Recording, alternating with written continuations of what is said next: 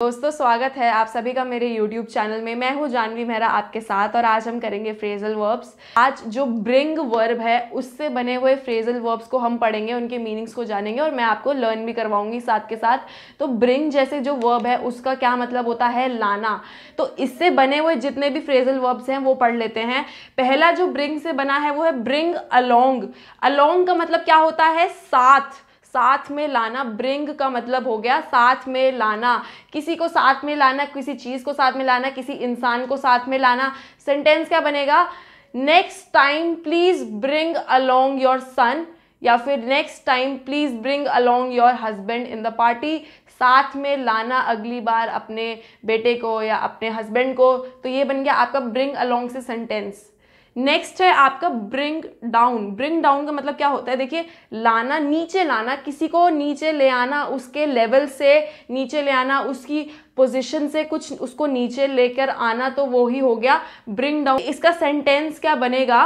The sting operation brought down the current CM जो sting operation किया गया था, उसकी वजह से क्या हुआ? जो सीएम थे, उनकी पोजीशन से उन्हें नीचे ले आया गया या फिर उनके लेवल से वो नीचे आ गए। कुछ उनकी पोजीशन को नुकसान हुआ, जिसकी वजह से वो नीचे गिर गए अपने लेवल से। नेक्स्ट हो गया आपका ब्रिंग फोर्थ देखिए फोर्थ का मतलब होता है आगे फर्दर तो ब्रिंग फोर्थ मतलब आगे लाना, आगे कुछ प्रोड्यूस करना, आगे किसी चीज़ का जन्म होना, उसको प्रेजेंट करना तो ब्रिंग फोर्थ से आपका सेंटेंस बनेगा कि unemployment brings forth poverty unemployment जो है मतलब जहाँ जॉब्स की कमी हो रहे के कारण ही जो पॉवर्टी है, उसका जन्म होता है, गरीबी का जन्म होता है ब्रिंग्स फोर्थ मतलब एज अ रिज़ल्ट किसी चीज़ को लाना प्रोड्यूस करना, वो हो गया आपका ब्रिंग फोर्थ नेक्स्ट है ब्रिंग फॉरवर्ड फॉरवर्ड मतलब आगे, कुछ आगे लाना, आगे प्रेजेंट करना।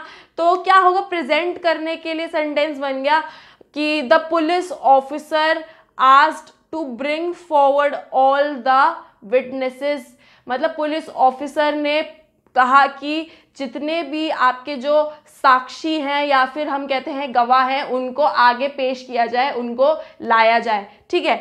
ब्रिंग आउट का क्या मतलब होता है? ब्रिंग आउट का भी मतलब होता है आउट का मतलब हमें पता है, बाहर निकाल कर लाना, कुछ बाहर निकाल कर प्रेजेंट करना पब्लिक के सामने प्रेजेंट करना तो सेंटेंस ये बना बनेगा कि he brought out all the relevant facts of the case in front of the जज या फिर in front of the police officer तो उसने क्या किया?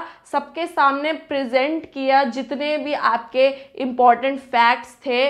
केस के, उनको सबके सामने उसने प्रेजेंट किया जज के सामने या फिर प्रेजेंट किया पुलिस ऑफिसर के सामने प्रेजेंट किया। तो ये हो गया आपका ब्रिंग आउट अच्छा ब्रिंग आउट का हमने क्या बनाया था सेंटेंस में? ब्रॉट आउट हो गया तो थर्ड फॉर्म हो गया। ठीक है लास्ट आपका ब्रिंग अप ब्रिंग अप मैंने आपको लास्ट वीडियो में भी बताया था कि ब्रिंग अप का मतलब होता है पालन पोषण करना, किसी को उसका लालन पालन करना। तो ब्रिंग अप से क्या मतलब हो गया? टू रेस चिल्ड्रन बच्चों का लालन पालन करना। सेंटेंस क्या बनेगा? She was brought up in Delhi या फिर she was brought up by घर ग्रैंड मदर उसका जो लालन पालन था, उसकी ग्रैंड मदर द्वारा किया गया। तो दोस्तों, ये आज मैंने ब्रिंग से बने हुए जितने भी इंपॉर्टेंट फ्रेजल वर्ब्स हैं, वो ही बताए हैं।